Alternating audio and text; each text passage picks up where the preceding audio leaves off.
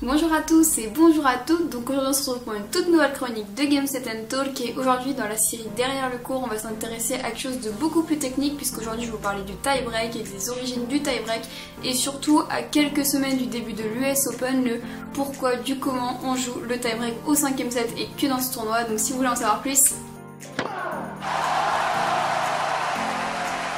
Donc en fait il faut savoir que l'histoire du tie-break c'est assez récent, ça date des années 1970 euh, pour être plus précise. En fait ça vient euh, d'un américain qui s'appelle euh, Jimmy Van Allen et en fait c'est un gars qui avait concrètement horreur des matchs à rallonge parce que en fait avant la création du tie-break et des règles un peu plus short il faut dire que les matchs pouvaient être très longs, il fallait toujours avoir deux jeux d'écart, donc on pouvait avoir des matchs à 22-24 ou des choses du genre, donc c'est des choses qui pouvaient durer des heures et des heures. Déjà qu'à l'heure actuelle, on peut avoir des matchs, euh, des matchs très très longs, comme le Mahu euh, Isner.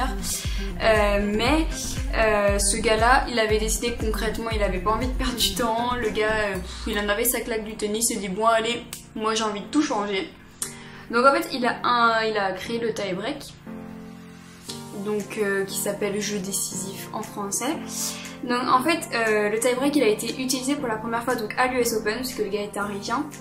Et euh, c'était en 70, donc euh, après euh, ça a évolué le tie-break en 75, il y a eu une légère modification parce qu'à l'époque, le premier tie-break de 70, il fallait arriver à 9 points. Donc alors, qu'à l'heure actuelle, il faut arriver à 7 points avec deux jeux d'écart, alors qu'à l'époque, le premier qui arrivait à 9, c'était plié. Le gars, il avait vraiment pas le time. Donc en fait, Van Allen, en gros, c'est un gars avec beaucoup beaucoup d'argent, une richesse qui n'en finit pas. Et en fait, c'est un gars qui était propriétaire du casino de Newport et euh, qui avait des cours de tennis bah, euh, d'herbe, de, gazon. Et euh, en fait, il proposait donc voilà ces, ces cours-là à, ses, à ses clients tout simplement. Et en fait, chaque année, il proposait un tournoi sur invitation auquel participaient tous les meilleurs joueurs de l'époque, donc concrètement, euh, ouais, ceux qui ramenaient le plus de sous, donc ce gars se refaisait de la richesse sur la richesse, quoi. Et en fait, le gars, euh, il y a aussi une explication un peu marrante que j'ai trouvée, parce que le gars, il s'est dit, bon, bah en fait, si c'est des matchs à rallonge, de 1, on peut en jouer qu'un par jour, donc c'est un peu chiant, du coup ça met plus de temps, et moi ça me fait un peu chier l'organisation. Et en plus, si le match dure trop longtemps, le soir, on peut pas boire le cocktail. Voilà, c'est une explication fortement pertinente et euh, très en lien avec le tennis. Donc voilà, peut-être bientôt une vidéo sur le tennis et l'alcool, pourquoi pas. Mais en fait voilà, lui il voulait prendre des mesures, il en avait marre de tout ça. Donc en fait il a continué euh, le lobbying à propos de ça. En fait euh, il même, il a même appelé ça le VAS, donc c'est Van Halen Streamlined Scoring System. Donc voilà, il voulait vraiment un système de score propre à lui-même, le gars hyper imbu de sa personne on va dire. Et en fait voilà, c'était son obsession vraiment diminuer la durée, limite le gars il avait même pas envie que le, match se joue, tu vois, c'est en mode euh, si on pouvait jouer au tennis à la télé ça irait beaucoup mieux. Euh, en fait il a même songé à des sets, euh, jouer un peu comme, comme au ping-pong on va dire, qui est par exemple le premier qui arrive à 21 points, il gagne le match en gros ou euh, qui gagne le set pardon où chacun joue 5 euh, fois de suite euh, pour le service. Enfin le gars concrètement on s'est dit pourquoi t'achètes pas un jeu vidéo? Je pense que ça ira beaucoup mieux hein. sinon ça sert à rien de jouer au tennis à ce compte là c'est pour que ça dure 10 minutes useless. Mais en fait voilà le gars il avait les moyens donc concrètement sa mère il pouvait la faire passer comme il voulait quoi quoi qu'il fasse. Donc en fait, euh, il a même acheté, euh, il a même eu l'idée d'acheter les meilleurs joueurs de la planète de type Rod Laver, euh, Pancho Gonzalez et les joueurs de ce style. Donc le gars concrètement, il a des sous, il les craque.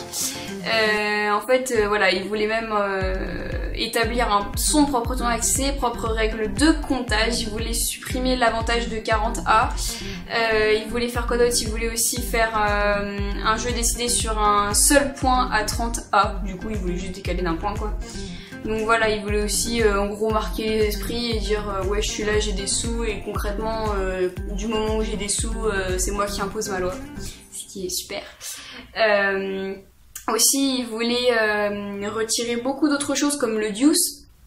Ça, il en voulait plus hein, concrètement. Il voulait éradiquer surtout le terme de deuce pour l'égalité et le terme euh, de 15 euh, love.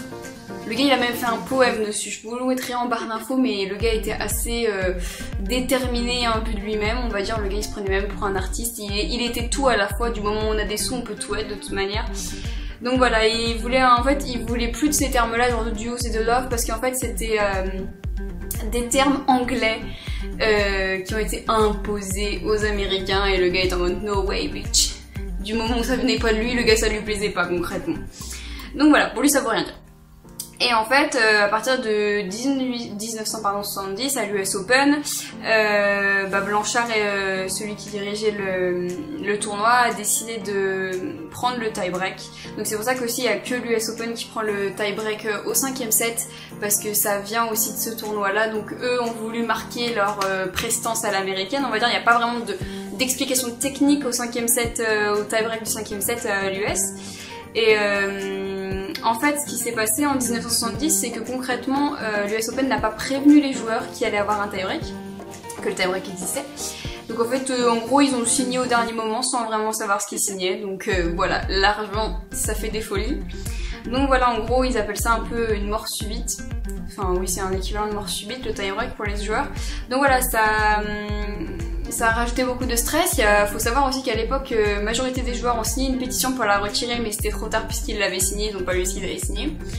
Donc voilà, donc c'est un peu étrange, mais en même temps c'est une tradition à laquelle, euh, à l'heure actuelle, on ne découpe pas.